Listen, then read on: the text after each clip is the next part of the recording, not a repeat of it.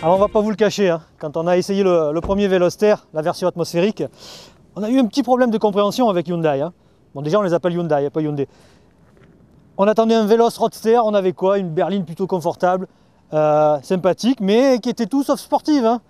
Mais bon, les Coréens, ils ont de la suite dans les idées, ils reviennent, ils sont en colère, ils ont mis un turbo là-dessous.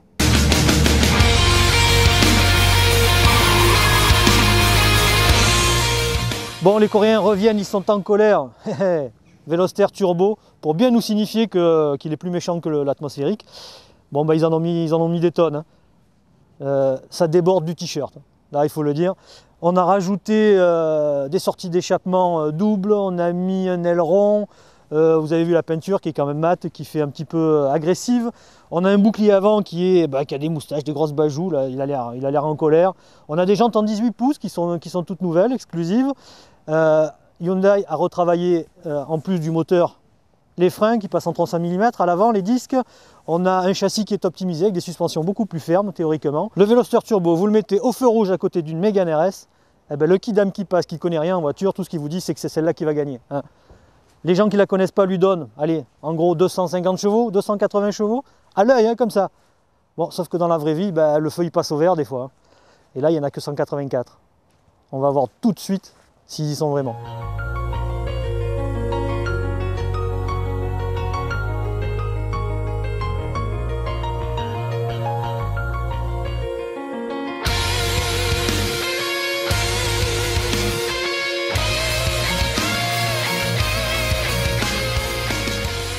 À bord du Veloster Turbo, bon ben on remarque hein, des sièges nouveaux.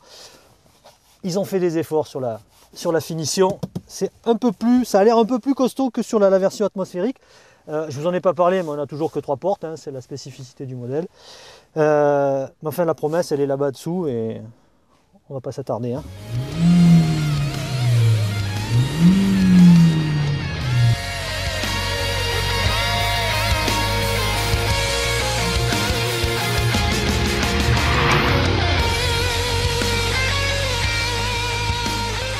Bien travailler sonorisation, on n'entend rien. Ni dehors ni dedans, hein, ça tombe bien parce que le bruit de l'échappement n'est pas super euh, intéressant. Bon, par contre, euh, soyons honnêtes, il y a du mieux, il y a beaucoup de mieux. Bon, ça partait de très loin de notre côté. Hein. Euh, les 60% de couple en plus, on les sent très très bien. Ils annoncent 186 chevaux. ça accélère moins bien qu'un Sirocco de 160. Ou à peu près pareil.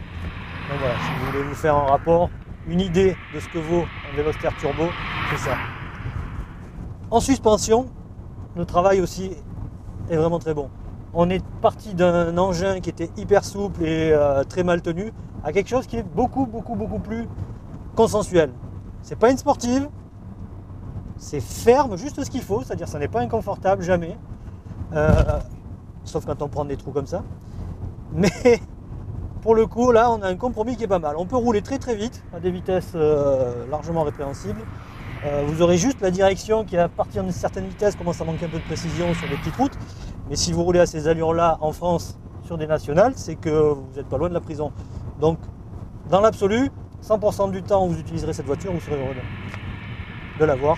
D'autant plus qu'à l'intérieur, on est plutôt bien. On a des connexions, on a une bonne sono, on a un joli look. Veloster Turbo. C'est pas une sportive, mais c'est bien.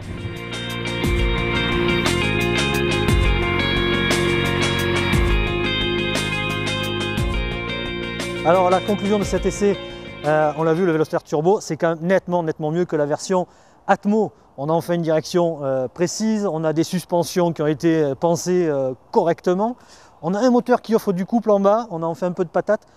c'est pas une sportive, hein, mais elle a l'air d'une sportive. Et c'est peut-être son plus gros défaut, c'est son look. En fait, on a l'impression qu'elle va chercher qui les, les, Opel Astra OPC, on dirait qu'elle va chercher la Renault Mégane RS, mais non, en fait, non, pas du tout. Hein. Elle est sur la gamme en dessous, elle est sur la, la TCE 190, euh, une Astra 1 euh, litre 6 180, ou même pire, un Sirocco euh, TSI 1 litre 4 160 chevaux. Elle offre à peu près les mêmes performances, voire peut-être un peu moins bien, mais elle est au même prix, 27 500 euros.